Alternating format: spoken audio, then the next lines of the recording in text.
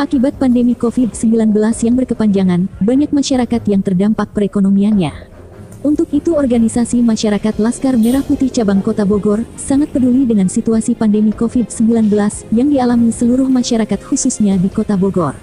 Rabu sore menjelang buka puasa sejumlah anggota Laskar Merah Putih Cabang Kota Bogor turun ke jalan membagikan takjil kepada semua pengguna jalan yang melintas di lampu merah Jalan Gunung Gede 1 Bantar Jati, Bogor Utara Kota Bogor, Jawa Barat.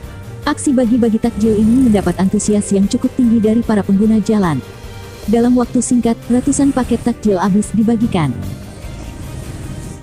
Setelah selesai membagikan ratusan takjil, dalam kesempatan ini puluhan anggota LMP mengadakan acara buka bersama di salah satu warung di pinggir jalan raya tersebut. Menurut Eliza Widyastuti, selaku Sekretaris LMP Cabang Kota Bogor, kegiatan ini dilaksanakan tak lain untuk menjalin silaturahmi antar sesama anggota LMP Kota Bogor. Terlaksana buka puasa bersama sekaligus pembagian takjil pada seluruh masyarakat yang mana eh, acara silaturahmi ini dihadiri oleh para penasihat dan dewan pendiri.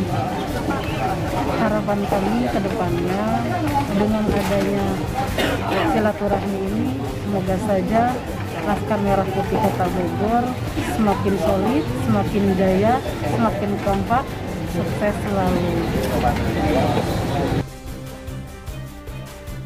Hal yang sama juga disampaikan. Rashid Zailani atau biasa disapa Razel selaku Ketua Harian LMP Cabang Kota Bogor. Alhamdulillah kita semua sudah saling mengenal, saling bertatap muka. Apalagi di sini ada pembentukan MAC Bogor Barat yang baru saja kurang lebih satu bulan ya ketua ya, ya kurang lebih.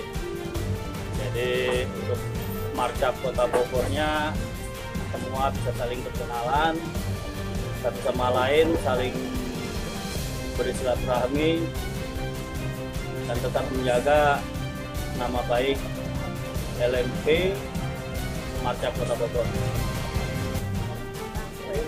Ia berharap kegiatan seperti ini tak hanya dilakukan sekarang saja, ke depannya LMP harus lebih kompak untuk membantu masyarakat yang membutuhkan.